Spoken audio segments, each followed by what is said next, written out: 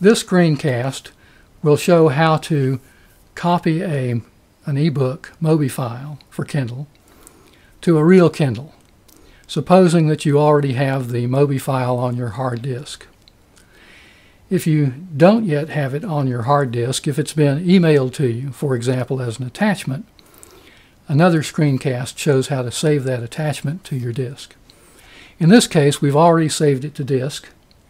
I'm going to open a file browser. I right-click on the Start button, click on Open Windows Explorer. Now, I want to find the ebook. Ebooks that you might be emailed will typically end in .mobi.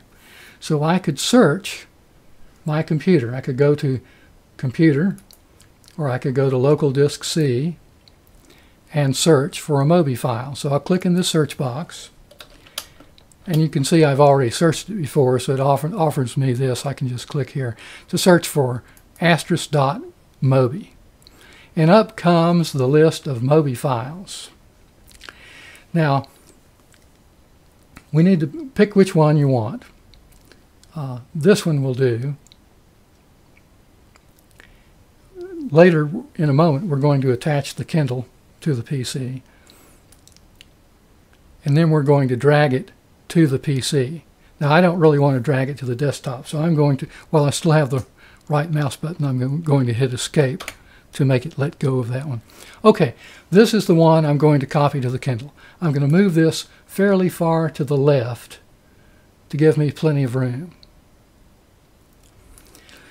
I'm going to open another file browser. I right click, choose Open Windows Explorer. Now I have a second file browser. Now I'm going to plug in my Kindle. When you got your Kindle, you had a cable. The big end plugs into a USB port on your computer. The small end plugs into your Kindle. So I'm now plugging it into my Kindle.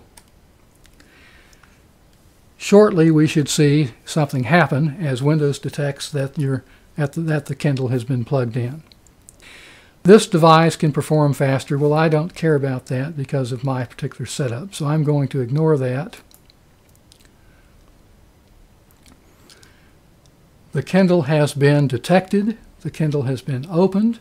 We now see it listed in the left-hand side of the file browser.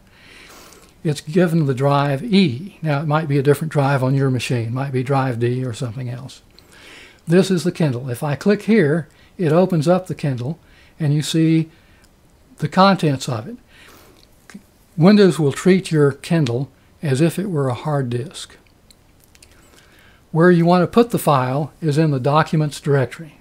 So I'm going to highlight that by left-clicking here that opens up the contents of that file of, of, of, the documents directory over here on the right. So this is where I want to drop the file. This is where I'm copying it from. I'm going to right click on the file and hold the right and continue to hold the right mouse button down. Now I'm going to drag it and I'm going to drag it over here. I don't want it to copy to miscellaneous. I don't want it to copy to Martin. I want it to copy to, pull it down here and it should scroll down to copy to documents. All right, as long as you're not over a directory, it'll let you copy to the folder named documents. So when it says copy to documents, I le let go the, with the right mouse button. I get a little menu. It gives me a choice of copying it here or moving it here. And what I want in this case is to copy it here. I don't want to remove it from my computer. I just want to copy it to the Kindle. So I click copy here. Copying one item, 248K, and it's finished. Now, if I look in the Kindle, if I, for example, search the Kindle, search it for, it was named Stormy something. So let's type Stormy and presto, there are several versions I have on it, and there we go. It has now been copied to the Kindle. Let's eject the Kindle from the computer so that you can unplug the cable. I click on this. I, well, I right click on this and choose Eject. Safe to remove hardware. Now I can unplug the cable. So I unplugged my cable.